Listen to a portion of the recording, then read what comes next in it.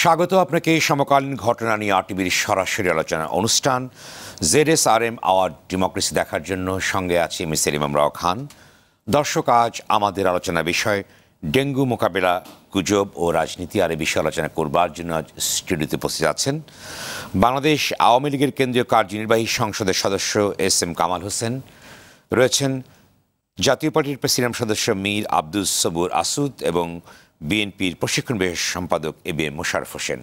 আসবার জন্য আপনাদের তিনজনকেই স্বাগত। দর্শক আপনি আলোচনা অংশ নিতে পারেন। টেলিভিশনের পর্দায় দেখানো নম্বরে ফোন করে আপনি প্রতিক্রিয়া দিতে পারেন, মতামত জানাতে পারেন, প্রশ্ন করতে পারেন। অনুষ্ঠানটি ইউটিউবে দেখতে পারেন আর ফেসবুকে সরাসরি দেখতে ভিজিট করুন Facebook dot com slash R TV online আজকের আলোচনা বিষয় ডেঙ্গু মোকাবেলা, গুজব ও রাজনীতি। দর্শক, স্বাস্থ্য অধিদপ্তরের হিসেবে গত চব্বিশ ঘন্টায় সারা দেশে আটশো চব্বিশ জন ডেঙ্গু রোগী হাসপাতালে ভর্তি হয়েছেন। রাজধানীর আশেপাশে জেলাগুলিতে ছড়িয়ে পড়েছে ডেঙ্গু আতঙ্ক। ভয়াবহ এই পরিস্থিতির মধ্যে ডেঙ্গু রোগীর সংখ্যা নিয়ে ছেড়ে ধরার মতো গুজব ছড়ানো হচ্ছে বলে সম্প্রতি মন্তব্য করেছেন ঢাকা সিটির মেয়র। স্বাস্থ্যমন্ত্রী বলেছেন, এডিস মশর রোহিঙ্গাদের মতো বংশ বিস্তার করছে। বিএনপি স্থায়ী কমিটির সদস্য নজরুল ইসলাম খান বলেছেন, সরকার বিএনপিকে মারতে পারে কিন্তু এডিস মশা মারতে পারছে না। গুজব ছড়িয়ে মানুষকে পিটিয়ে মারার পেছনে বিএনপি নেতাদের হাত আছে মন্তব্য আওয়ামী লীগের সাধারণ সম্পাদক ওবায়দুল কাদেরের। বিএনপির কেন্দ্রীয় কার্যালয় এখন গুজবের কারখানা, এটিও বলেছে ওবায়দুল কাদের। সেখান থেকে অপপ্রচার চালানো হচ্ছে, গুজব রটানো হচ্ছে। আলোচনা করবার জন্য তিনজন আলোচক। প্রথমে আমি শুরু করতে চাই A B M Mosharraf Hossain আপনাকে দিয়েই। আপনি তো জানেন যে ডেঙ্গু রোগের প্রাদুর্ভাব ঢাকা সহ সারা বাংলাদেশে ছড়িয়ে পড়েছে এবং আমি আমার আলোচনার আগেই বলেছি যে আটশো চব্বিশ জন রোগী ভর্তি হয়েছে, চব্বিশ ঘন্টায়, গত চব্বিশ ঘন্টায় ভর্তি হয়েছে। দেশে আতঙ্ক আছে, অন্যদিকে ছেড়ে ধরা আতঙ্করও সেই রেশ কাটেনি এবং এই ডেঙ্গু আতঙ্ক নিয়েও রাজনীতি আছে, আলোচ, আছে, সমালোচনা আছে, দুটি দলের ভিতরে পাল্টাপাল্টি অভিযোগ আছে, অর্থাৎ অনেকে মারাও গেছেন, ডেঙ্গু ডেঙ্গু আক্রান্ত হয়ে মারা গেছেন। এই বিষয়ে আপনার কি প্রতিক্রিয়া আছে? বিশেষ করে যে মন্তব্যটি, কয়েকটি মন্তব্য নিয়ে বেশ সোশ্যাল মিডিয়া আলোচনা হয়েছে। এ প্রসঙ্গে আপনি আরও কি বলবেন? ধন্যবাদ আপনাকে। ধন্যবাদ আমার সহ আলোচক জনাব কামাল হোসেন এবং আসুদ ভাই এবং আর টিভির দর্শক এবং শ্রোতা। আসলে ডেঙ্গু আমাদের দেশে দু হাজার সাল থেকে উপস্থিতি আমরা লক্ষ্য করি। আর সাম্প্রতিককালে আমরা দেখছি যে ডেঙ্গু একটি ভয়াবহ আকার ধারণ করেছে। বিশেষ করে আপনি নিজেই আপনার উপস্থাপনে বলেছেন প্রাথমিক দিকে আমরা যখন ডেঙ্গু উপস্থিত ধরা পড়ে, তখন আপনি বলে দেখেছিলেন যে মেয়র সাহেবরা বলেছে এটা গুজবের মতোই একটা গুজব ছড়ানো হচ্ছে ডেঙ্গুর ব্যাপারটা। কিন্তু আজকে আপনি যদি এই যে আজকের যদি মিডিয়াগুলি আপনি লক্ষ্য করেন, সেখানে ঢাকার দুই মেয়রই কিন্তু স্বীকার করেছে যে এটা একটি ব্যাপক মহামারী আকার ধারণ করেছে।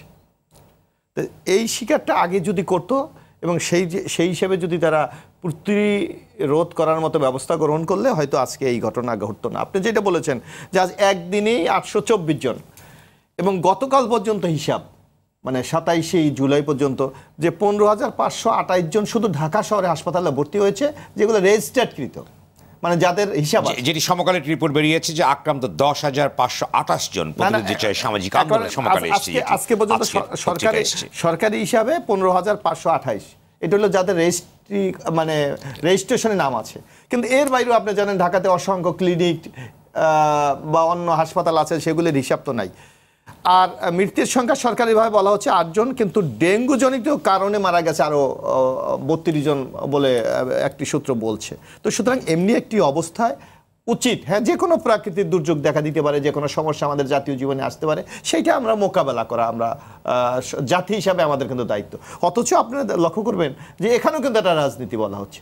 এখানে বলা হচ্ছে, যখন বিএনপির পক্ষ থেকে বলা হচ্ছে যে সরকারের দায়িত্ব এই ডেঙ্গু প্রতিরোধ করা, তখন বলা হচ্ছে যে নয় পল্টন থেকে গুজব ছড়ানো হচ্ছে। তো তাহলে গুজব যদি ছড়ানো হয় তাহলে এই যে আটজন বা বত্রিশ জন আপনি যাই বলেন এই লোকগুলি তো আজকে আমাদের মাঝ থেকে হারিয়ে গেছে। আজকে ঢাকা বিশ্ববিদ্যালয়ের মতো জায়গা যেখানে সবচেয়ে শিক্ষিত লোকের বসবাস। আপনারা তো রাজনীতি করেছেন যেটা বলবার চেষ্টা করেছে মির্জা ফখরুল আলমগীর যে সরকার বিএনপি মারতে পারে কিন্তু মশা মারতে পারে। অর্থাৎ রাজনীতির একটি রেশ তো আপনাদের না, ভিতরেও আছে। অর্থাৎ বিতর্ক তো আছে এই কথাটা এই কারণে বলেছে। অভিযোগ এই আছে। কথা এই কথাটা এই এই কারণে বলেছে যখন বিএনপির পক্ষ থেকে বলা হয়েছে যে ডেঙ্গু মশার ব্যাপারে আপনারা প্রয়োজনীয় পদক্ষেপ নেন তখন কিন্তু দুই মেয়র বলেছে, আপনি লক্ষ্য করবেন যে এইটা এটাও একটি গুজব ছড়ানো হচ্ছে। তো আজকে শুধু এইটা ঢাকার অবস্থা, কিন্তু এবারে আমরা প্রথম লক্ষ্য করলাম ঢাকার বাইরেও কিন্তু ব্যাপক আকারে এটা ছড়িয়ে পড়েছে। ইতিমধ্যে আমি- যে কথাটা বলছিলাম যে ঢাকা ইউনিভার্সিটির একজন ছাত্র মারা গেছে। আজকে সুনামগঞ্জের সিভিল সার্জন মারা গেছে, জাহাঙ্গীরনগর বিশ্ববিদ্যালয়ের এক ছাত্রী মারা গেছে, ঢাকা মেডিকেলের দুই ডাক্তার মারা গেছে। সুতরাং জিনিসটা কত ব্যবহার এটা আমাদেরকে উপলব্ধি করতে হবে। আর এখানে কিন্তু রাজনীতির ব্যাপার না, এখানে মানুষের জীবনের ব্যাপার। সুতরাং এটা পদক্ষেপ করে না। আরেকটি কথা আপনি বলেছেন যে স্বাস্থ্যমন্ত্রী বলেছে উনি কিন্তু প্রথম অস্বীকার করেছে যে, না, ডেঙ্গুর প্রভাব অত বেশি না, এটা আমাদের নিয়ন্ত্রণে আছে। এখন উনি বলছে যে, রোহিঙ্গাদের মতো, তো রোহিঙ্গা তো একটা জাতি, তারা আজকে দেশ হারিয়ে আজকে বাংলাদেশে আশ্রয় নিয়েছে। আজকে তাদের এই জাতিটাকে অলরেডি বার্মা গভর্নমেন্ট এই জাতিকে নিধন করার জন্য একটি পরি- পরিকল্পনা গ্রহণ করেছে। তো এখন যদি তার সাথে আমাদের স্বাস্থ্যমন্ত্রী সুর মিলায়, তাহলে এটা চরম অমানবিক এবং এই রোহিঙ্গাদের উপর চরম একটি অবিচার করা। ধন্যবাদ, আবারও আসব। এস এম কামরুল হাসান, আপনি বলেন, যেটি সর্বশেষ বললেন যে যেটি স্বাস্থ্যমন্ত্রী বলেছেন যে যেটি এডিস মশার যে বংশবৃদ্ধি রোহিঙ্গাদের মতো অর্থাৎ যদিও তিনি বলেছেন হাস্যোচ্ছলে বলেছেন কিন্তু এটিকে বলা হয় জেনোফেবিক অর্থাৎ জাতি বিদ্বেষ বা বিদেশি আতঙ্ক এই শব্দটি কতখানি যৌক্তিক? যেখানে একজন দায়িত্বপ্রাপ্ত মন্ত্রী একটি জাতি সম্পর্কে বলছে জেনোফেবিক একটি ধারণা দিচ্ছে এই প্রসঙ্গে আপনি কি বলবেন? দায়িত্বশীল মন্ত্রীর বক্তব্যকে আপনি কীভাবে দেখবেন? আপনারা ধন্যবাদ। দুজন আলোচকের ধন্যবাদ দর্শক শ্রোতাদের ধন্যবাদ। স্বাস্থ্যমন্ত্রী সরকারের নীতি নির্ধারক না।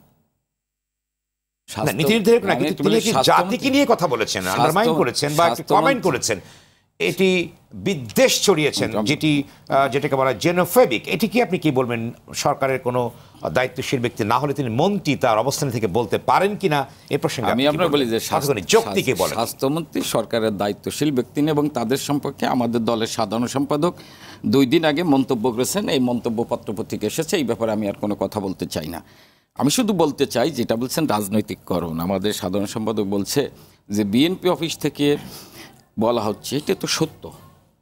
কয়েকদিন আগে রিজবি সাহেব বললেন, আমার ভাই মোশারেফ বলছে যে দুই হাজার সালে থেকে ডেঙ্গুর উদ্ভব হয়েছে। দুই হাজার এক সাল থেকে দুই হাজার ছয় সাল বিএনপি ক্ষমতায় ছিল। কোন সরকার ক্ষমতা আছে এটা বড় বিষয় না। রোগ, প্রাকৃতিক দুর্যোগ, এটা দেখে আসে না, সরকার দেখে আসে না।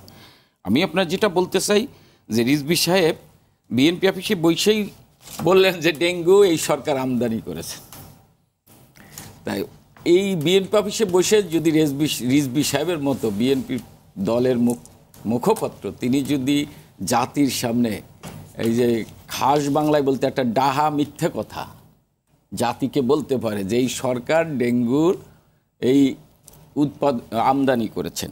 আমি আপনার বলি হ্যাঁ ডেঙ্গু হয়েছেন। এটি হচ্ছে যে সামাজিকভাবে মানুষের ভিতরে সচেতনতা গড়ে তুলতে হবে। আপনি দেখছেন তিনজন ডাক্তার কামাল হোসেন আপনি আপনি বলুন যেখানে আজকে প্রথম আলো একটি রিপোর্ট আছে যে হাসপাতালে ভর্তি রোগীর সংখ্যা দশ হাজার ছাড়ালো। সেক্ষেত্রে যেখানে দক্ষিণের মেয়র বললেন যে এটি অর্থাৎ গণমাধ্যমের উপর দোষ চাপালো যে তারা এটি গুজব রটনা করছে এবং ছেড়ে ধরার মতো। অর্থাৎ এই যে বাড়তি কথাগুলো অনেকে বলবার চেষ্টা করেছেন যে তাদের এই বাহুল্য কথা যেটি মোহাম্মদ নাসিম বলেছেন যে কথা কম কাজ বেশি যে- ইঙ্গিতটি দিয়েছেন এটিকে কি বলবেন যে আমি- পরিস্থিতি ভয়াবহ? আমি- সেখানে আপনারা কেন সাপ্রেসটা করলেন বা জনসচেতনতার কথা যদি আপনি বলেই থাকবেন তাহলে এই বিষয়টি আগে কেন করা আমি আপনারে বলি যে ঢাকার দুই মেয়র এবং স্বাস্থ্যমন্ত্রী কি বলেছেন? আমাদের দলের সাধারণ সম্পাদক দুই দিন আগে সুস্পষ্টভাবে তার, তাদের বিষয়ে উনি জাতির সামনে উপস্থাপন করেছেন, কথা তুলেছেন। এই ব্যাপারে আমি আর কোনো কথা বলতে আমি শুধু বলতে চাই, দেখেন ডেঙ্গুর আমাদের দেশে যদি মহামারী একানো ডেঙ্গু হচ্ছে, পনেরো হাজার লোকের বেশি আজকে ডেঙ্গু জ্বরে আক্রান্ত। সেই ক্ষেত্রে সরকার, আমাদের প্রিয় নেত্রী, মাননীয় প্রধানমন্ত্রী, উনি চিকিৎসার জন্য লন্ডন গিয়েছেন, ওখান থেকে উনি দিক নির্দেশনা দিয়েছেন এবং ইতিমধ্যে দেখেছেন যে সরকারি হাসপাতালগুলোতে যারা ডেঙ্গুতে আক্রান্ত হবে, তাদেরকে ফ্রি চিকিৎসা দেওয়ার জন্য উনি দিক নির্দেশনা দিয়েছেন। অলরেডি স্বাস্থ্য মন্ত্রণালয় আজকে মিটিং করে বলেছেন এবং অন্যান্য যে বেসরকারি হাসপাতালগুলো আছে, সেইখানেও যারা এই টেস্টগুলো করাবে সেইখানে আপনি দেখছেন একটা নির্দিষ্ট ফি ধরে দিয়েছেন পাঁচশো টাকা, যেগুলোতে আপনি, আমি আপনারে বলতে পারি যে যেগুলোতে ছিল হচ্ছে আপনার যে ডেঙ্গুর যেমন এনএসআই এটা টেস্ট হয়তো বারোশো থেকে দুই হাজার টাকা, সেখানে পাঁচশো টাকা নির্ধারণ করে দিয়েছে। এইরকম তিনটে জায়গায় সরকার আজকে নির্ধারণ করে দিয়েছে এবং অন স্টপ আপনার সেন্টার চালু করেছে। এই শুধু ডেঙ্গু আক্রান্ত রোগীদের চিকিৎসার জন্য জন্য সরকার কিন্তু উদ্যোগ গ্রহণ করেছে। আর আপনি গুজবের কথা বললেন। না উদ্যোগ তো নিয়েছে কিন্তু কালের কণ্ঠে একটি রিপোর্ট আছে আপনি যে খরচের প্রসঙ্গে বললেন সেখানে একটি রিপোর্ট বেরিয়েছে কালের কণ্ঠে। আজকের যে রিপোর্টটা বেরিয়েছে ডেঙ্গুর চিকিৎসা খরচে দেশে হারা রোগীরা আছে গরিব রোগীরা আমি আমি তো এটা বললাম যে। আজকে কালের কণ্ঠ- কালের কণ্ঠতে বেড়েছে আজকে কিন্তু আজকেই সিদ্ধান্ত হয়েছে আমাদের প্রিয় নেত্রীর নির্দেশে যে সরকারি হাসপাতালগুলোতে নার্স এবং ডাক্তার বাড়ানোর জন্য যারা ডেঙ্গু স্পেশাল কেয়ার করার জন্য, তাদেরকে বিশেষ যত্নবাদ করার জন্য কিন্তু নির্দেশ দিয়েছেন। এবং আপনি প্রতিটি হাসপাতালে বললাম তো এই চালু করা হয়েছে। সেই ক্ষেত্রে আজকের থেকে কিন্তু আপনার প্রাইভেট হাসপাতালগুলোতে ইতিমধ্যে আমি শুনে, দেখেছি, আমি আসার সময় দেখলাম একটা নিউজে যে স্কয়ার হাসপাতাল অলরেডি তাদের টেস্টগুলো তিন ভাগের এক ভাগে নিয়ে এসেছেন। মানে প্রাইভেট হাসপাতালগুলোতে এই ব্যাপারে উদ্যোগ গ্রহণ করেছেন। সেই ক্ষেত্রে সরকার কিন্তু এই ডেঙ্গু যারা সাধারণ মানুষ, আপনি যেটা বলছেন আজকে কালের কণ্ঠ, যে নিউজ হয়েছে তার আলোকেই হোক কিংবা সরকার তার নিজের উদ্যোগ হোক, সাধারণ মানুষের চিকিৎসার জন্য যাতে মানুষের কষ্ট না হয়, সেই কারণে কিন্তু সরকার উদ্যোগ নিয়েছে এবং সরকারি হাসপাতালগুলোকে ফ্রি করে দিয়েছেন। টেস্টগুলো ফ্রি হবে। সরকারি হাসপাতালগুলোর টেস্টগুলো ফ্রি হবে। প্রাইভেট হাসপাতালগুলোতে পাঁচশো টাকা নির্ধারণ করেছে। যেগুলোর টেস্টটা ছিল বারোশো থেকে ষোলোশো টাকা, অনেকটা দুই হাজার টাকা ছিল, তিনটা টেস্ট হয়। সেইখানে তারা নির্ধারণ করে দিয়েছে পাঁচশো টাকা। আর একটা বিষয় আপনার আমি বলি, যে গুজবের কথা বলছেন হ্যাঁ গুজব তো হচ্ছেই। আজকে আপনি দেখেন যে পদ্মা সেতু নিয়ে গুজব হচ্ছে। কি গুজব? যে পদ্মা সেতুতে মাথা লাগবে।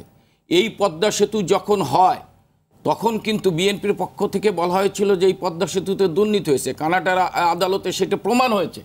এবং ওয়ার্ল্ড ব্যাংক আমি একটু একটু বলেন একটু শেষ করেন এটা বলে নেই। সেই ওয়ার্ল্ড ব্যাংক কিন্তু পরে স্বীকার করেছে না দুর্নীতি তারা কিন্তু টাকা দিতে এসেছিলেন জননেত্রী শেখ হাসিনা। জননেত্রী নিয়ে নেই। বাংলাদেশের জনগণের টাকা দিয়ে আজকে পদ্মা সেতুতে অর্থাৎ প্রমাণিত হয়েছে ভুল এটি। আবার আপনি দেখেন এক সেকেন্ড আর এক আর এক মিনিট আমার একটু এক সেকেন্ড সময় দেন। পদ্মা সেতুতে আজকে মাথা দিবি। যেন বিএনপির নেত্রী যিনি তখন বলেছিলেন যে এই পদ্মা সেতু জীবন হবে না আর পদ্মা সেতু এরপর গাড়ি চলবে না। আজকে যারা পদ্মা সেতু চায়নি তারাই আজকে এই গুজবগুলো রটাচ্ছে। মানুষের ভিতরে আতঙ্ক পদ্মা সেতু ধন্যবাদ হলেও ভীতি ছড়ানো ডেঙ্গুর জাল এখন দেশ জুড়ে যেটা যেটি সে যেটি রিপোর্ট করেছে কালের কণ্ঠ, অর্থাৎ গুজব ছড়ানোর কথা আপনারা বললেও দেশ জুড়ে কিন্তু ডেঙ্গি ছড়িয়ে পড়েছে।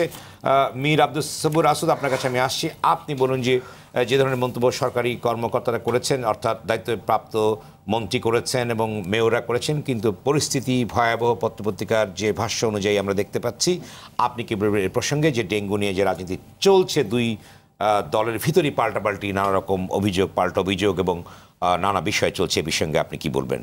আপনাকে ধন্যবাদ। রাব্বুল আলামিন আমাদের দুটো হাত দিয়েছে দুটো পা দিয়েছে দুটো কান দিয়েছে দুটো চোখ দিয়েছে মুখ কিন্তু একটা দিয়েছে। কেন দিয়েছে? এটা আমাদের খোদা তালা জানেন। কারণ শুনতে হবে বেশি দেখতে হবে বেশি বলতে হবে কম।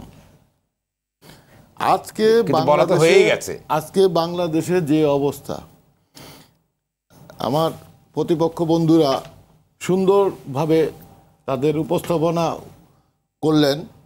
যেমন মনে করেন, আমি যেটা বলতে চাই, যেমন দুই সাল থেকে দুই হাজার ছয় সালে আমাদের বিএনপির সরকার ছিল, বিএনপি জামাতের সরকার ছিল। তারা কিন্তু মশন মশা নিধন না করে তারা আইবি রহমান সহ চব্বিশ জন নেতাকর্মীকে গ্রেনেড হামলা করে হত্যা করেছে। বর্তমানে বিএনপির মহাসচিব বলছে যে আমাদেরকে হত্যা করতেছে সহজে কিন্তু ডেঙ্গু মশা নিধন করতে পারছে না। ডেঙ্গু নিধন করতে পারছে না। আর আমাদের দুই মেয়রের চমৎকার চমৎকার উপস্থাপন এক এক দিন এক এক রকম। একজন বলে আমার অফিসে এসে আমার নিয়ন্ত্রণ কক্ষে দেখবেন কোথায় কোন আমার ইন্সপেক্টর এবং এই ফগারম্যান আছে সেটা আমার এখানে আছে ফোন নাম্বার আছে আপনারা খোঁজ নেবেন। পক্ষান্তরে গত এপ্রিল মাসে এই ওষুধের কার্যকরিতা আইসিডিডিআরবি বাতিল করেছে এটা দিয়ে মশা নিধন করা সম্ভব নয়। অর্থাৎ উত্তর বাতিল করছে সেটা উত্তর সিটি কর্পোরেশন। উত্তর বাতিল করেছে দক্ষিণও যে মানে দক্ষিণ বলছে তারপরেও চালিয়ে গেছে কিন্তু কাজ হয়নি। তার প্রমাণ আজকে আমাদের, আপনি যেমন প্রথম আলো নিয়ে শুরু করেছেন, এই প্রথম আলোই সাড়ে তিন লক্ষ আমাদের এই ডেঙ্গু আক্রান্ত রোগীর একটা হিসাব। আপনার জাতিসংঘ স্বাস্থ্য অধিদপ্তর এবং সরকারি স্বাস্থ্য অধিদপ্তর দপ্তরের সাথে রেকি করে এই সংখ্যাটা নির্ধারণ করেছেন। সেদিন কিন্তু বলেছিলেন, এই মেয়র সাহেব, আমাদের সাইদ খোকন সাহেব বলেছিলেন যে এটা ওই মাথার মতো গুজব রটানো হচ্ছে। কিন্তু সেটা যখন মাননীয় প্রধানমন্ত্রী একটি মেসেজ পাঠালেন যে আমাদের সাধারণ সম্পাদক আওয়ামী লীগের সাধারণ সম্পাদক আপনার যোগাযোগ মন্ত্রী ওবায়দুল কাদেরের মাধ্যমে এখন আবার শুট চেঞ্জ হয়ে গেছে। এখন সেই মেয়র সাহেব বলছে যে আজকে যে ডেঙ্গু নিয়ে যেসব কর্মকাণ্ড আমিও নিরাপদ আমিও নিরাপদ না। আমার পরিবারও নিরাপদ না। আমি উদ্বেগ আমার আমরা, আমি সহ সকলে এটা উদ্বেগ প্রকাশ করছে এবং অলরেডি স্বীকার করেছে যে এটা মহামারী পর্যায়ে চলে এসছে। আর উত্তরের মেয়র সাহেবও তো এই ধরনেরই কথা বলছে। আসলে সত্যিকার অর্থে আমরা যেটা আমার কাছে এই আওয়ামী লীগের সাধারণ সম্পাদক, যোগাযোগ মন্ত্রী ওবায়দুল কাদেরের একটা কথা খুব ভালো লাগছে। যে ডু জব কাজ করো, কথা কথা বলতে পারো, কথা কম, কাজ করো। তো আসলে কাজ কি হচ্ছে, না হচ্ছে, এটা তো আমরা দেখতে পাচ্ছি। আজকে আমাদের স্বাস্থ্য সচিব বলে বেড়াচ্ছে যে তাদের হাসপাতাল নাকি ইনকমপ্লিট হাসপাতাল। সেই হাসপাতালে ডেঙ্গু রোগী রাখবে। ডেঙ্গুর মূল জিনিসটা হলো প্রতিরোধ আর প্রতিকার। প্রতিরোধ শেষ। এখন প্রতিকারের চেষ্টা করছে। প্রতিরোধ ভেঙে পড়েছে। এখন যেই অবস্থা যে কোনো মূল্যের বিনিময়ে আপনি এই যে আমার ঢাকার বাইরে যে রোগটা ছড়িয়ে গেছে, সেখানে আপনার এই যে আমাদের যে ডেঙ্গু রোগীর যেই চিকিৎসার ব্যবস্থা নেই, সেখানে অনেক ধরনের ওষুধের অভাব আছে। একটা একটা মারাত্মক ঝুঁকির মধ্যে আমরা আছি। সেখান থেকে পরিত্রাণের উপায় বের করতে হবে। এখন যেহেতু এই স্বাস্থ্যমন্ত্রী যেসব কথা বলেছেন, আর আমাদের মেয়র সাহেব যেসব কথা বলেছেন আমাদের তো আসলে দেখতে হবে। ভিতর পরিস্থিতি একটু আপনি কি মনে করেন যে জনগণ যারা আক্রান্ত ব্যক্তিরা কোনো দিশে হারিয়েছে এই বিষয়গুলির প্রেক্ষিতে বা সচেতনতা বৃদ্ধির ক্ষেত্রে এগুলোর প্রতিবন্ধকতা সৃষ্টি করছে আপনি কি মনে করেন? আপনি মেয়র যখন বলে সে সে এই ইয়ের বাইরে নয় উনিও এই ডেঙ্গু আমি আপনার কাছে আক্রান্তের বাইরে নয় ওনার পরিবার নিয়ে উনিও বিব্রতকর অবস্থায় আ- আছেন। একটি টেলিফোন সেই আছে। ক্ষেত্রে জনগণের তো কি অবস্থা বুঝতেই পারতেছেন? আমি একটি টেলিফোনে আবারও আসব। দর্শক আপনার পরিচিতি বলুন সংক্ষেপে আপনার প্রশ্নটি। হ্যালো হ্যালো আসসালামু আলাইকুম। ওয়ালাইকুম আসসালাম। দর্শক আপনার টেলিভিশনের ভলিউম কমিয়ে দিয়ে আপনি কথা বলুন। শহীদুল ইসলাম পটুয়াখালী চার। জি বলুন শহীদুল ইসলাম। প্রথমত প্রশ্ন হয়েছে বর্তমানে ডেঙ্গুতে যে অবস্থা সেখানে কীভাবে বলা হয় যে এটা একটা গুজব? আর দ্বিতীয়ত সিটি কর্পোরেশন ডেঙ্গু বা মশা নিধনের জন্য প্রতি বছর প্রচুর পরিমাণে বরাদ্দ থাকে। সেখানে সিটি কর্পোরেশন লোকজন এই বরাদ্দ দিয়ে কি করে বা তারা কি ঔষধ ছিটায় বা কি ধোয়া দেয় যাতে মশা না যায়? অল্প কিছু হইতে পারে, কিন্তু এইভাবে যদি যে হারে আক্রান্ত হওয়া হচ্ছে ডেঙ্গুতে, তাতে খুব শীঘ্রই, আমার মনে হয় ঢাকা সিটির অর্ধেকেরও বেশি লোকজন আক্রান্ত হবে। ধন্যবাদ। ধন্যবাদ আবার আসবে আপনার কাছে। আব্দুল সামিদ, আপনি ছোট্ট একটি প্রশ্ন করে আমি যাচ্ছি অন্য বক্তার কাছে। সেটা হচ্ছে, আপনি বলুন যে একজন দর্শক বললেন যে এর জবাবদিহিতার বিষয়টি আছে কিনা যে তারা কি ওষুধ তারা ছিটাচ্ছে কিংবা কি মেজার্সগুলো নিচ্ছে, এই প্রসঙ্গে কি মেয়রের কোনো বক্তব্যের স্টেটমেন্ট দেওয়ার প্রয়োজন ছিল কি না যে যেখানে একটা ইঙ্গিত পাওয়া যাচ্ছিল যে ধরনের ঘটনা ঘটতে পারে আক্রান্ত হতে- পারে, ডেঙ্গুর প্রভাব বেরতে পারে, সেক্ষেত্রে ওষুধ নিয়ে নানা রকম বিতর্ক উঠেছে সেই ক্ষেত্রে প্রয়োজন ছিল কি না মেয়রের যে কী ওষুধ ব্যবহার করেছে বা কি হচ্ছে বিষয়টি প্রয়োজন ছিল কিনা, আপনি কি বলবেন? আমি প্রশ্নকর্তার সাথে খুব একটা দ্বিমত পোষণ করি না। যে অবস্থা আমরা দেখছি, আমাদের চারিদিকে যে অবস্থা দেখছি, বিশেষ করে ইলেকট্রনিক্স মিডিয়া এই এবং প্রিন্ট মিডিয়াতে যেইভাবে আপনারা সবাই মিলে, বিশেষ করে নেতিবাচক আর ইতিবাচক, যাই বলেন না কেন, আমরা একটা ভয়াবহ সংকটে আছি। এবং এই সংকটকে উত্তরণ করার জন্য আসলে আমাদের দেশে কোনো সমস্যা প্রধানমন্ত্রী ছাড়া সমাধান হয় না। আপনি দেখেন রিফাত হত্যা মামলা, প্রধানমন্ত্রী ছাড়া সমস্যা হয় না। নুসরাত হত্যা মামলা প্রধানমন্ত্রী সমস্যা সমাধান না আপনি চল্লিশ কোটি টাকা বাজেট সিটি কর্পোরেশনে মশা মারার জন্য একটি মশাও মরছে না, তারপরেও টনক মরছে না। প্রধানমন্ত্রী আজকে সম্ভবত নির্দেশ দিয়েছেন ওবায়দুল কাদেরের মাধ্যমে যে কোনো মূল্যের বিনিময়ে ওষুধ কিনে তাড়াতাড়ি প্রতিরোধ ব্যবস্থা নেওয়া হোক। এবং প্রয়োজনে আমি অবাক হই। মেজাজ কেন নেওয়া হলো আমি আপনার কাছে আগে কেন এই ব্যবস্থাগুলো নেওয়া হলো না সে প্রসঙ্গে আমি আমি আবার আসব? আমি জি। আমি অবাক হই যে এই যে ফগার মেশিনের মতো সব কিছু সিটি কর্পোরেশনে মানে দেখানো কাজ হয় ঝাড়ু দিতে ছুট পরে ঝাড়ু দেয় এসব ঢাকাবাসী পছন্দ করে না। ঢাকাবাসী কাজ চায় অতীতে ঢাকাবাসী আজকে মনে করেন আওয়ামী লীগকে প্রতিষ্ঠা করেছে ঢাকাবাসী এবং আওয়ামী লীগে এই ইয়ের বাবাই এই বর্তমান মেয়রের বাবাই হানিফ সাহেব আওয়ামী লীগকে ঢাকায় শক্তিশালী একটি সংগঠনের রূপ দিয়েছে। অতএব আবারও আসব আপনার কাছে এ বি এম মোশাররফ, আপনি বলুন যে রিজবি সাহেব বলেছেন ডেঙ্গু প্রসঙ্গে বলেছেন যে সরকার ক্ষমতা হারানোর ভয়ে প্রলাপ বকছে। অর্থাৎ এই ডেঙ্গুর সঙ্গে এর কি সম্পর্ক আছে এটি কি অতি রাজনীতিকে না অনেকে বলবেন আসলে আপনি যে কোনো কথাতে একটা শব্দ দিয়ে তো যে কোনো কথাকে মূল্যায়ন করা যায় না। কথার আগে পিছনে কিছু শব্দ থাকে। আর রিজবি আহমেদ সাহেব যে কথাটি বলেছে, আসলে রিজি আহমেদ বলে, বলতেছে আপনারা বলেন যে বিরোধী দলের কাজ হলো সরকারের যে কোনো কাজের ভুল ত্রুটি যেখানে আছে সেটা ধরিয়ে দেওয়া। এখন যেখানে ডেঙ্গু মহামারী আকার ধারণ করেছে, আজকে যে কথাটি আব্দুল সৌর সাহেব বলেছে, যে বাংলাদেশে এখন দেখবেন, আপনি যে কোনো জিনিসের এখন হাইকোর্টের আদেশ দিতে হয়। তাহলে গভর্নমেন্ট কি ইনএক্টিভ হয়ে গেছে? গভর্নমেন্টের কি কোনো অস্তিত্ব বাংলাদেশে নেই? আজকে দেখবেন দুধে ভেজাল আছে কিনা আছে হাইকোর্ট নির্দেশ দেয়। আজকে মশা বলছে যে বিচারপতিরা নাকি মশার জাজ দীর্ঘদিন পর্যন্ত শোনে না। আজকে রাস্তাতে এই গাড়ি চলতে পারবে না, হাইকোর্ট নির্দেশ দিচ্ছে। তাহলে একটা সরকার যখন ডিসফাংশনাল হয়ে যায় তখনই কিন্তু অন্য একটা বডির উপর গিয়ে ভর করতে হয় তাকে। আর সরকারের অবস্থা কিন্তু তাই দাঁড়িয়েছে। আজকে মশা মারবে, এটা তো সিটি কর্পোরেশনের দায়িত্ব। এবং আরেকটি জিনিস আপনি লক্ষ্য করবেন যে এটা নাগরিক হিসাবে আমাদের কাছে মনে হচ্ছে, যে ঢাকা শহরের আপনি যখন বিশেষ করে এই ডেঙ্গুর মশাটা তো বর্ষার সময় বেশি হয়। আপনি দেখবেন ঢাকা শহরে এখন এখন তো রাস্তা খোরাখুরির কোনো দরকার নেই। কারণ এখানে যেখানে স্বচ্ছ পানিটা থাকবে, সেখান থেকে মশা জন্ম নেবে। আজকে শীতকালে যদি এই কাজগুলি করে, তাহলে কিন্তু অনেকটা মানুষ এই এই এই ডেঙ্গু থেকে রক্ষা পেতে পারে। আপনি ঢাকা শহর ঘুরে দেখেন, সব জায়গায় রাস্তা খোরাখুরি অবস্থা। তো সুতরাং এই ডেঙ্গু বিস্তারের জন্য আপনিই তো পথ সুগম করে দিচ্ছেন। আপনাকে কে সুগম করছে পথ? সিটি কর্পোরেশন অনেক কাজ অনেক কাজ এখন হচ্ছে কিন্তু আপনি এটা তো লক্ষ্য। করেন। ধারাবাহিকভাবে চলে আসে যুগের না না কিন্তু আপনাকে তো একটা হিসাব করতে হবে যে আজ আমার যখন বর্ষা শুরু হয় একটা নির্দিষ্ট ডেঙ্গু তো আপনার বারো মাস হয় না। ডেঙ্গুর তো একটা নির্দিষ্ট টাইম আছে।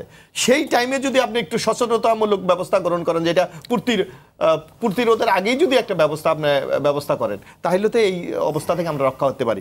যার জন্য আপনি বিরোধী দল হিসাবে আপনাকে যদি কোনো ব্যাপারে বলে দেয় সেইটাও যদি এই যেমন আজকে বন্যার কথা হচ্ছে সারা বাংলাদেশে। বনা এখন আমরা কি বলছি? যে আজকে বিরোধী দলগুলো আমরা বলেন বা জাতীয় পার্টি বলেন বা অন্য দল বলেন, তাদের তো আর ত্রাণ দেওয়ার মতো ওই ধরনের সঙ্গতি নেই। এটা সরকারের সে মেকানিজম আছে, সরকারের বরাদ্দ আছে, সুতরাং তারাই ব্যবস্থা করতে পারে যে দ্রুত গতিতে ত্রাণবাসী মানুষকে পুনর্বাসন করার ব্যাপার। এখন সেই ক্ষেত্রে যদি আমরা বলি যে সরকার ঠিকভাবে ত্রাণ পুচ্ছাচ্ছে না, সেটাও কি আমাদের অপরাধ? সেটাও কি অন্যায়? সেটাও কি গুজব হবে? আজকে বাদ ভেঙে যাচ্ছে। আপনার নিজের আপনার এখানে আরেকদিন বলেছিলাম যে সুনামগঞ্জে বাদ দিয়ে যে কেলেঙ্কারি হয়েছিল, সরকার বহু তদন্ত কমিটি করেছে এবং অনেক ঠিকাদারের বিরুদ্ধে ব্যবস্থা নিয়েছে। আবার আমরা দেখেছি সেই ঠিকাদারকে পরবর্তীতে আবার কাজ দেওয়া হয়েছে। একদিকে আপনি বলবেন, আপনি ব্যবস্থা নিচ্ছেন, অন্যদিকে আবার সেইটাকে পৃষ্ঠপোষকতা করবেন।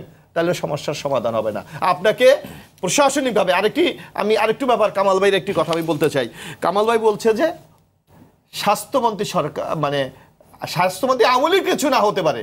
কিন্তু স্বাস্থ্যমন্ত্রী দেশের স্বাস্থ্যমন্ত্রী এবং স্বাস্থ্যসেবার মতো একটা বিরাট ডিপার্টমেন্ট তার দায়িত্বে আছে। সুতরাং তার কথার কোনো মূল্য থাকবে না। তাইলে আমরা নাগরিক হিসাবে স্বাস্থ্য ঝুঁকি বলেন অথবা স্বাস্থ্যসেবা বলেন এইটার নিশ্চয়তা আমরা কোথায় পাবো। ধন্যবাদ। আতঙ্কের মধ্যে আপনি বলুন যে যেখানে ডেঙ্গু একটি মহামারী আকার ধারণ করেছে যেটা পত্রপত্র থেকে এসছে কিন্তু যেখানে মেয়ররা বললেন যে অর্থাৎ একটি গুজব, এতটা পরিস্থিতি না কিন্তু যখন প্রধানমন্ত্রী নির্দেশ দিলেন, তারপরে সবাই ইউ টার্ন করলেন। এ প্রসঙ্গে আপনি কি বলবেন? আপনি বলবেন, একজন দর্শক টেলিফোনে আছেন, ফোনটি নিয়ে, তারপরে আপনি বলবেন। দর্শক, আপনার পরিচিতি বলুন, সংক্ষেপে প্রশ্নটি।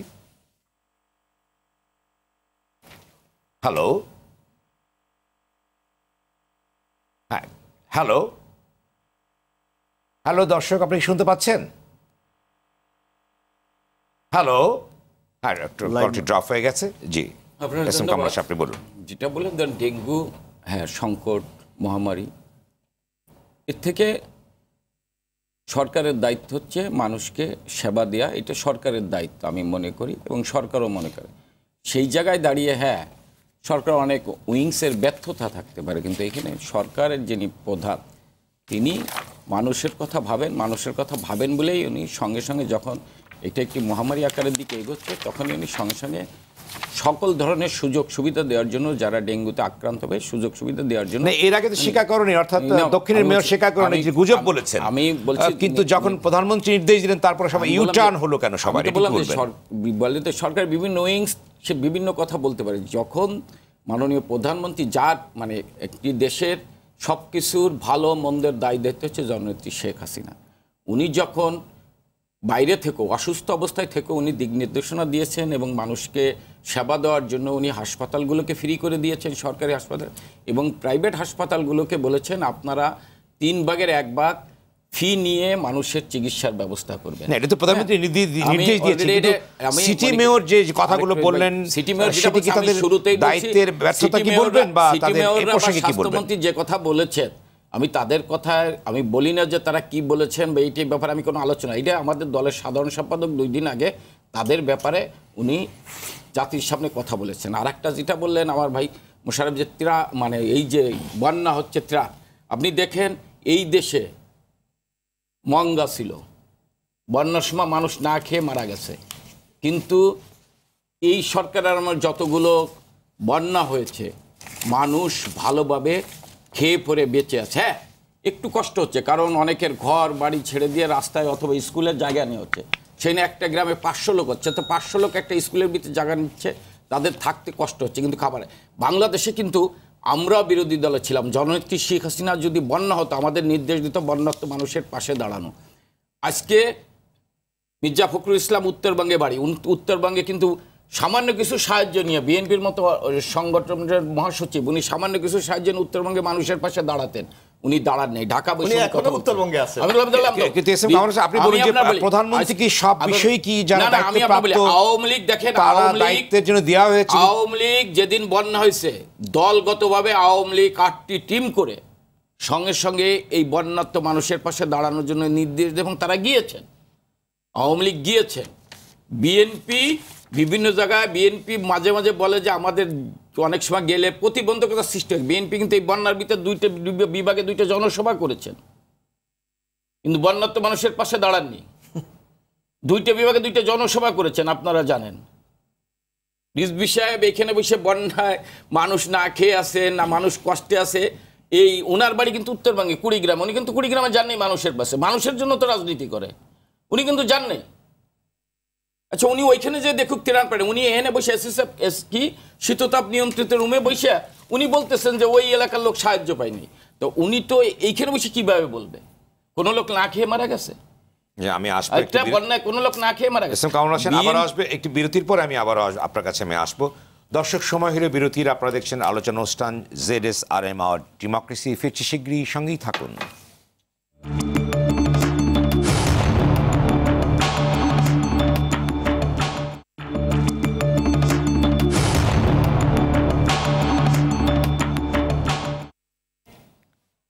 স্বাগত আরেকবার। সমকালীন ঘটনা নিয়ে আরটিভির সরাসরি আলোচনা অনুষ্ঠান।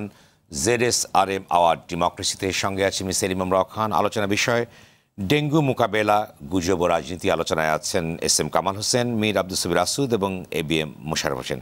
S M Kamal Hossain আপনি বলুন একটি একটি যুগান্তর একটি রিপোর্ট আছে সেটি হচ্ছে আহ, আক্রান্ত সংখ্যা অতীতের সব রেকর্ড ভঙ্গ অক্টোবর পর্যন্ত স্থায়ী হলে পরিস্থিতি নিয়ন্ত্রণের বাইরে চলে যাওয়ার আশঙ্কা এটিকে আপনি কীভাবে বলবেন এবং সেই প্রস্তুতি আছে কিনা সরকারের বা আপনি কী বলবেন আমি আপনার বলি যে ডেঙ্গু হ্যাঁ অক্টোবর পর্যন্ত এই ডেঙ্গু থাকতে পারে এটা আরও বৃদ্ধি হতে পারে কিন্তু আবার বিশ্বাস সরকার আজকে যে সিদ্ধান্ত নিয়েছে এর আলোকে হ্যাঁ আমরা মনে করি যে ডাক্তাররাও আন্তরিক হবেন তারা আন্তরিক তারপর আরও আন্তরিক হবেন।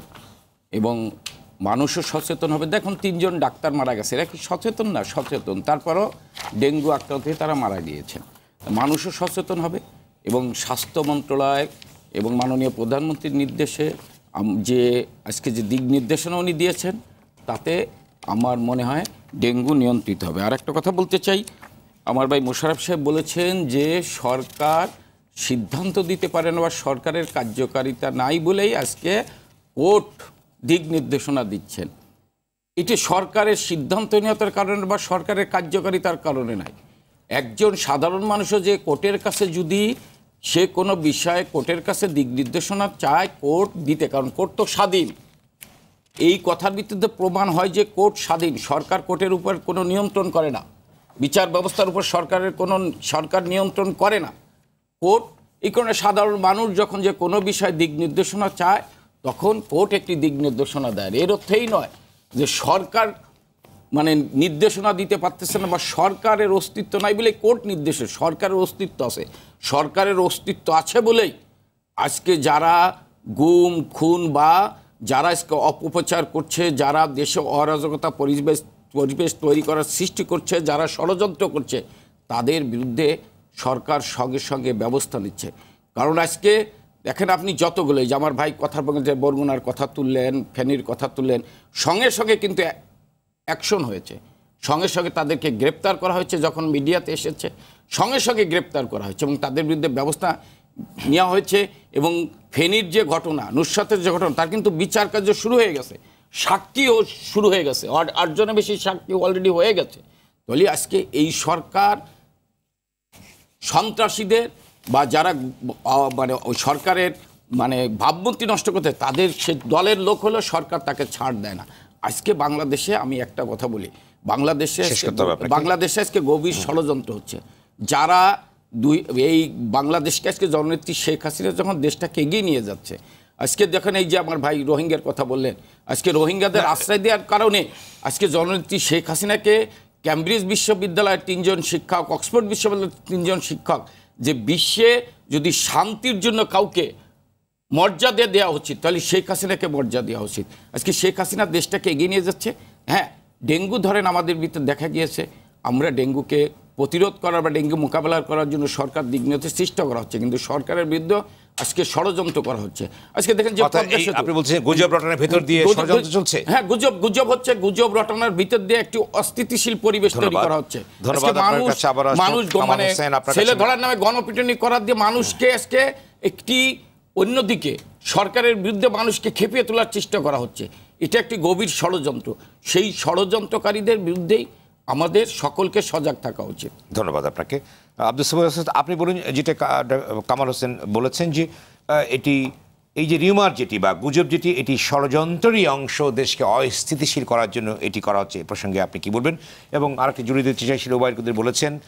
গতকাল বলেছেন ওবায়দুল কাদের, গুজবের ফ্যাক্টরি বিএনপির কেন্দ্রীয় অফিস। আপনি কি উঠবেন? একদিকে উনি বলেছেন এটি ষড়যন্ত্র অন্যদিকে গুজবের অফিস অফিসটি কি বলবেন যাদের ডেঙ্গু হচ্ছে বিশেষ করে অর্থমন্ত্রী অর্থমন্ত্রীর ডেঙ্গু হয়েছে উনি জীবনের প্রথম বাজেট বক্তব্য দিতে পারেনি মোস্তফা কামাল সাহেব।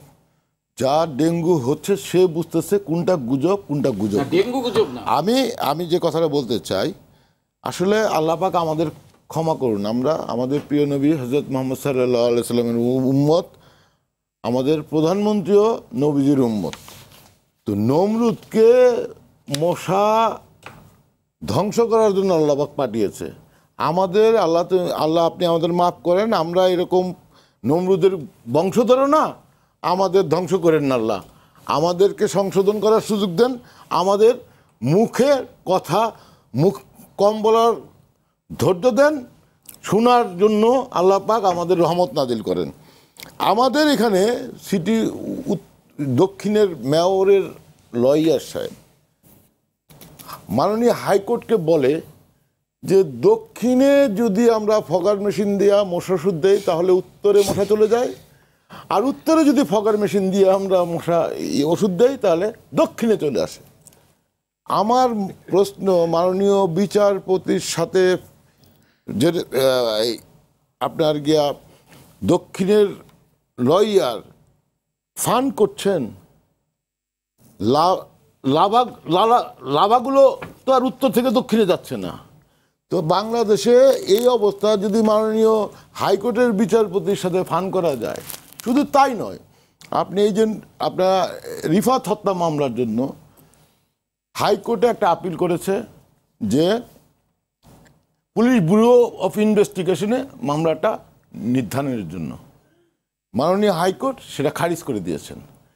তো এভাবে যদি আমরা আমাদের পক্ষে যদি আমরা বিচার না পাই, যদি আমাদের পক্ষে যদি মানে অনিয়ম হয়, দুর্নীতি হয় বা দুঃশাসন হয়, এটা যদি আমরা কোথাও যদি এই নালিশ করে না পাই, যেমন মানে আমরা বিএনপিকে মনে করি যেটা নালিশের পার্টিতে পরিণত হয়েছে। আওয়ামী লীগ মনে করে যে সেই ষড়যন্ত্র, সবগুলো ষড়যন্ত্রের পিছনে পল্টন আছে। আর রিজবিতে একটা, আপনার ছোটোখাটো বলতে পারেন রিজবি সাহেবকে বলতে পারেন যে উনি একটা প্রচার মাধ্যম। উনি প্রতিদিনই যদি টেলিভিশনে বা অন্যান্য আপনার ইলেকট্রনিক্স মিডিয়া, প্রিন্ট মিডিয়া না আসে, তাহলে ওনার মনে হয় সমস্যা। উনি কেন আপনার কুড়িগ্রাম যাবে? উনি ঢাকা থেকেই তো সারা বাংলাদেশ উনি প্রচার প্রকাশনায় আছেন। তাই না? তা ওনার তো আর কুড়িগ্রামে যাওয়ার দরকার নাই ওনার তো রিলিফ দেওয়ার দরকার নাই ওনার তো ত্রাণ দেওয়ার দরকার নেই ওনার নির্বাচনী এলাকার যাওয়ার দরকার নেই। অর্থাৎ আপনি বলছেন এটি গুজবের সঙ্গে সম্পৃক্ত আছে আপনি কি বলতে চেয়েছেন যে আমি তা বলি না। এটা তো গুজবের প্রশ্নই ওঠে না। কারণ এটা সত্যিকার গুজব যে কয়েকটি কয়েকদিন আগে যে ঘটনাটি ঘটলো ডেঙ্গু তো ধরা নিয়ে যে গুজবটি ঘটলো এবং তার প্রেক্ষিতে যে কয়েকটি হৃদয়বিদের ঘটনা ঘটে গেল এটি কি আপনি ষড়যন্ত্র এটা আমার আরেকটা এস এম কামাল হোসেন বলেছেন যেটি হ্যাঁ, এটা আমার আরেকটা যুক্তি আছে যে দেশে যখন শাসন ব্যবস্থা জনগণের কাছে কাঙ্ক্ষিত না হয় তখন জনগণ মারমুখী হয়ে যায়। এবং আর ব্রিজের সাথে তো আপনার শুধু আমাদের দেশে না আপনি আগে যেমন বড় বড় দিঘি ছিল এবং এই ব্রিজও পদ্মা ব্রিজেও কিন্তু আপনার পশু বলি দেওয়া হয়েছে। ব্রিজের সাথে রক্তের একটা সম্পর্ক আছে। তারপর আপনার বড় বড় দিঘির সাথে একটা রক্ত এমনকি অটোমান সাম্রাজ্য আজ থেকে মনে করেন চার পাঁচশো বছর আগে। সেই সময় কোনো বড় বড় ব্রিজ করতে গেলে আপনার রক্তের প্রয়োজন বলির ইয়া ছিল। ভারতে না না বঙ্গবন্ধু সেতু থেকে রক্ত রাখছে না না ভারতে আড়িয়াল খান সেতু থেকে রক্ত না না আপনি এই চাই এই চাই না নেই। আপনি পশু জব করা শুরু রক্ত আমি অত দূরে যাওয়ার দরকার নেই। মানে আমি যেটা সত্য এটিকে বিজ্ঞানসম্মত ধন্যবাদ আপনার আপনার কাছে বিজ্ঞানসম্মত। কিনা জানি না। এবে মোশাররফ আপনি বলুন যে যেখানে যেখানে যে বিষয়টি নিয়ে আসছেন যে আহ, যেটি এস এম কামর হোসেন বলেছেন যে গুজব একটি ষড়যন্ত্রী অংশ, সরকারকে অস্থিতিশীল করা অংশ। আপনি কি বলবেন? না, এটা এইটা- হলো আসলে সরকার তখন তার ব্যর্থতা ঢাকার জন্য কার উপর দৌড় চাপাচ্ছে। এটা হলো মূল বিষয়। কারণ আপনি দেখুন এখন কামাল ভাই একটি কথা বলেছে যে, বিএনপি বসে আছে বিএনপি তো ত্রাণ কার্যে অংশগ্রহণ করেন। এটাও কিন্তু এক ধরনের গুজব। না যাইনি তো কোথাও। তুমি বলো। আমি বলি বিএনপির ইতিমধ্যে পাঁচটা টিম বর্তমানে এখন আমাদের মহাসচিব ফখরুল ইসলাম আলমগীর আজকে কুড়িগ্রামে আছেন। কালকে উনি ঠাকুর গতকালকে ঠাকুরগা ছিলেন। আজকে আমাদের নেতা ডক্টর খন্দকার মোশাররফ হোসেন আছেন। আমাদের নজরুল ইসলাম খান জামালপুর আছেন। সদস্য মঈন খান ফরিদপুর আছেন। আজকের আপনি নিউজ হ্যাঁ, আজকে গতকাল থেকে তো ফখরুল ইসলাম আলমগীর গতকাল সাত থেকে আটটা জায়গায় ত্রাণ দিয়েছে গতকালকে। ওনার সাথে স্থায়ী কমিটির আরেক সদস্য ইকবাল মাহমুদ টুকু ছিলেন। সুতরাং বিএনপি আমাদের যে সামর্থ্য সামর্থ্য দিয়ে আমরা সারা বাংলাদেশে চেষ্টা করছি। কিন্তু সরকার তার ব্যর্থতাকে ঢাকার জন্য আজকে সকল ক্ষেত্রে বিএনপির গন্ধ তারা খুঁজে পায় দেখবেন। কোনো কিছু হলে, কারণ বিএনপি সরকারের দলে নাই বিএনপি বিরোধী দলে নাই, কোনো জায়গায় নেই। তারপরও যে কোনো আক্রমণ কিন্তু ওই বিএনপিকে কেন্দ্র করে হয়। কারণ তাদের আতঙ্ক এক জায়গায়। তাদের আতঙ্ক এক জায়গায় কারণ বিনা ভোটে নির্বাচিত সরকার উনত্রিশে ডিসেম্বরের সরকার। যার জন্য সবসময় আতঙ্ক থাকে যে জনগণ যদি জেগে ওঠে এবং জনগণের যদি সমর্থন প্রয়োজন হয় তাহলে বাংলাদেশে আওয়ামী লীগ না অনেকে বলেছেন যে গুজব ষড়যন্ত্রের একটি অংশ এবং সরকারকে অস্থিতিশীল করার জন্য। সেই কীভাবে দিবেন? গুজব ছেলে ধরার প্রসঙ্গ না, নিয়ে না, স্পষ্ট ব্যাখ্যা নেই? ছেলে দ্বারা যে কয়টা ঘটনা ঘটেছে আপনি দেখবেন সব দুই একটি ঘটনা ঘটেছে সব বিচ্ছিন্ন ঘটনা। কেউ পাগল বা এইটা বা যেই বয়সের ছেলেরা করেছে দায়িত্বশীল কেউ কিন্তু এই ঘটনা ঘটেনি এবং এইটা বাংলাদেশের মানুষ বিশ্বাসও করে না। বরং আমরা প্রথম লক্ষ্য করেছি যে আপনি লক্ষ্য করবেন যে দু হাজার আঠারোর তিরিশে ডিসেম্বর নির্বাচন সম্পর্কে ছয় মাস পর নির্বাচন কমিশন এটি রটনের পেছনে উদ্দেশ্যটা কি? উদ্দেশ্যটা আপনি কি বলবেন? উদ্দেশ্য একটাই দু হাজার আঠারোয় তিরিশে ডিসেম্বর নির্বাচনের কেন্দ্র কেন্দ্রওয়ারি যে ফলাফল নির্বাচন কমিশন প্রকাশ করেছে সেখানে দেখা গেছে যে প্রায় দুইশো তেরোটি কেন্দ্রে? বারোশো তেরোটি। না দুইশো তেরোটি কেন্দ্রে একটা ভোটও বিএনপি পায়নি। বারোশো কতটি কেন্দ্রে সম্পূর্ণ ভোট নৌকায় পেয়েছে। এই যে নির্বাচনের একটি শুভাঙ্করের ফাঁকি এইটা যখন জনগণের মাধ্যমে প্রকাশিত হয়েছে আওয়ামী লীগের আসল স্বরূপ জনগণ দেখতে পাচ্ছে তখনই ওবায়দুল কাদের বলেছে যে পদ্মা সেতু যে মাথা লাগবে এটা বিএনপি জামাতের সোশ্যাল মিডিয়ায় ব্যাপকভাবে আসছে এটি। পত্রিকাও এসেছে। পত্রিকা এসেছে যে ওবায়দুল কাদের সাহেব ফার্স্ট বলেছে যে এইটার সাথে বিএনপি এবং জামাত জড়িত।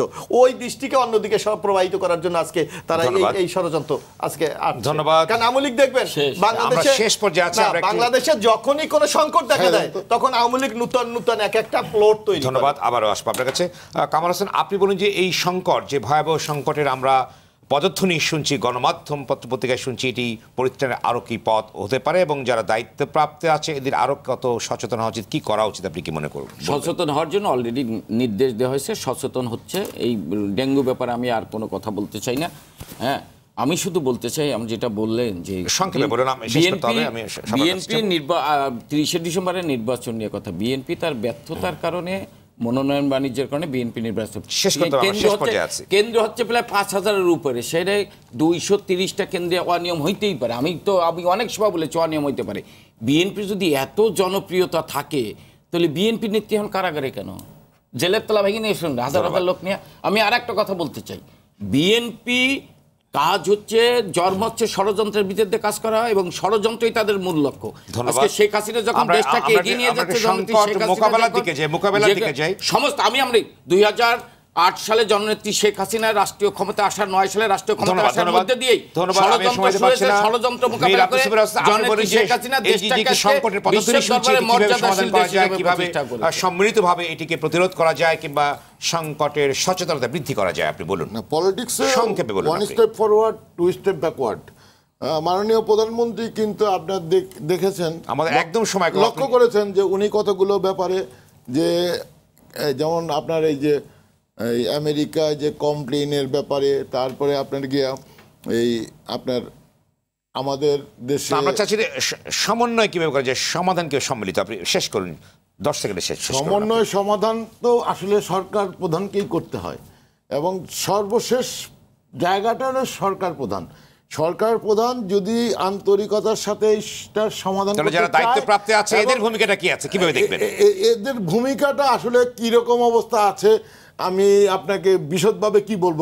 ওবায়দুল কাদের সাহেবের বক্তব্যে বোঝা গেছে এদের ভূমিকাটা ধন্যবাদ। মোশারফ আপনি বলুন যে সম্মিলিতভাবে এটি কীভাবে দশ সেকেন্ডে বলুন। আমি একদম শেষ পর্যায়ে আছি আমরা সমাধানের দিকে যাব। এটা কিন্তু আসলে আমাদের জাতির হিসাবে একটা জাতীয় দুর্যোগ। এই দুর্যোগ এতদিন স্বীকার না করলে সরকার আজকে স্বীকার করতে বাধ্য হয়েছে। সুতরাং আমার মনে হয় উচিত সরকারের উচিত যে রাজনীতি বাদ দিয়ে সর্বদলীয়ভাবে সবাইকে ডেকে এই সমস্যা সমাধানের জন্য দ্রুত পদক্ষেপ। ধন্যবাদ এবি মোশারফ হোসেন ধন্যবাদ মীর আব্দুল সমির আসুদ ধন্যবাদ এস এম কামাল হোসেন সময় দেওয়ার জন্য। ধন্যবাদ আপনাদের সবাইকে আলোচনায় অংশ নেওয়ার জন্য। দর্শক আপনারা যারা টেলিভিশনের পর্দা এবং ফেসবুক আলোচনায় শুনছেন আপনাদেরকে ধন্যবাদ। জানিয়ে রাখি আওয়ার ডেমোক্রেসি অনুষ্ঠানটি সপ্তাহে শনি এবং রবিবার সম্প্রচার হয়। দেখার আমন্ত্রণ। সবাই ভালো থাকুন সুস্থ থাকুন নিরাপদে থাকুন।